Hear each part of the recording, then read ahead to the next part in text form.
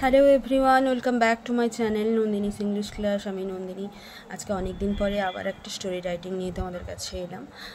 Story রাইটিংটা তোমরা সকলেই শুনেছ। দ্য ফার্মার অ্যান্ড দ্য স্নেকের যে স্টোরি রাইটিংটা মানে কৃষক আর সাপের যে কাহিনীটা, তোমরা সকলেই জানো যে একটি কৃষক একটি সাপকে ক্ষতবিক্ষত অবস্থায় দেখে একটি শীতের দিনের সকালে সে তার বাড়িতে নিয়ে আসে। সাপটাকে যত্ন নেয় ঠিক করে তোলে, কিন্তু সাপটি পরবর্তী মুহূর্তে কি ঠিক করে ঠিক হয়ে যাওয়ার পরে তখন ওই ওই কৃষকের ছেলেকেই কামড়াতে যায়। তো এই স্টোরিটাই আজকে আমি তোমাদের করাবো। ভিডিওর শুরুতে বলে দিই, যদি আমার ভিডিওগুলো তোমাদের ভালো লেগে থাকে, তাহলে অবশ্যই আমার চ্যানেলটিকে সাবস্ক্রাইব করে পাশে থাকা বেল বাটনটি ক্লিক করে অল অপশানটি ট্যাপ করে দিও, যাতে পরবর্তী ভিডিও নোটিফিকেশানটা সহজে তোমাদের কাছে পৌঁছে যায়। এবং হ্যাঁ এই তোমাদের ফার্মার অ্যান্ড দ্য স্নেক, এই স্টোরিটা তোমাদের ক্লাস এইটের বইতে, ইংলিশ বইতেও তোমাদের আছে। মানে তোমার টেক্সটুয়ে টেক্সচুয়াল যে রাইটিং বেসিসে যেগুলো দেওয়া থাকে, এটা ইনক্লুডেড আছে। তো চলো, সময় না নষ্ট করে শুরু করা যাক। তো দেখো once there lived a farmer in a small village দেখো তো একটা গ্রামে একটি ছোট, গ্রামে একটি কৃষক বাস করতো one day he walked through his field on one cold winter morning একদিন সকালে, শীতের সকালে কৃষক তার মাঠে যাচ্ছিল।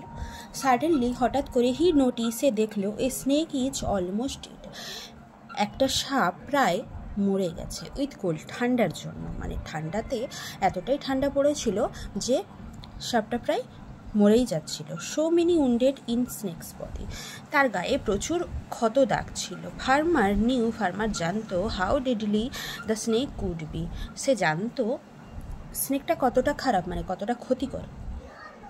কিন্তু the farmer brings it home এখানে কুড বি শো না এখানে বাট করো but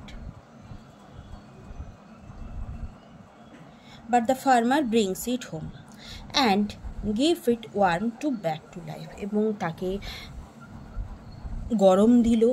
মানে তার সে যে শীতে যে জর্জরিত ছিল, মরে যাচ্ছিল, তাকে গরম উষ্ণতা দিল যাতে সে তার স্বাভাবিকভাবে জীবনে ফিরে পেতে, ফিরে চলে আসে।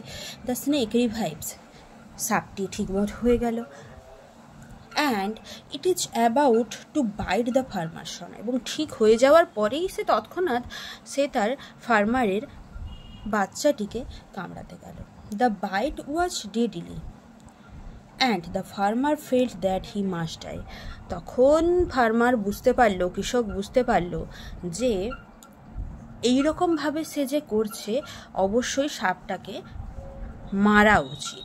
Then he chased the snake away from him তারপর কৃষক কী করল? তখন ওই সাপটাকে নিজের কাছ থেকে তাড়া করে দিল মানে তাড়িয়ে দিল। কৃষক আর সাপটাকে মারেনি, তাড়িয়ে দিল। মোরাল মোরাল কি? মোরাল অফ দ্য স্টোরি নীতি কথা কি? Not to take pity on a harmful person যে যে অসাধু ব্যক্তি, খারাপ লোক, তার কোনো দিন সাহায্য করতে নেই।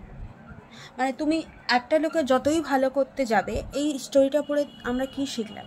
যে আমি যাকেই সাহায্য করব, সেই, সে অসাধু ব্যক্তি যদি হয়, সে হার্মফুল যদি হয়, সে অবশ্যই তোমাকে ঘুরে ফিরে সে তার কামড়টা তোমাকে দিবে। মানে সে তোমাকে পাল্টে আঘাত করবে। তুমি তার যতই উপকার করো না কেন, তাই অসাধু ব্যক্তির যে খারাপ লোক, তাকে উপকার করতে নেই। তো এই ছিল আজকের মোরাল অফ দ্য স্টোরি। স্টোরিটা এইটুকুই, জাস্ট ছোটো স্টোরি। এইভাবেই তোমরাও লিখতে পারো। তো আজকের ক্লাস সম্পর্কে যদি তোমাদের বুঝতে অসুবিধা থাকে, তো অবশ্যই আমাকে কমেন্ট করে জানাবে। আজকের ক্লাসটা এইটুকু। পরের ক্লাসে আবার নতুন কোনো ভিডিওর সঙ্গে আবার দেখা হবে।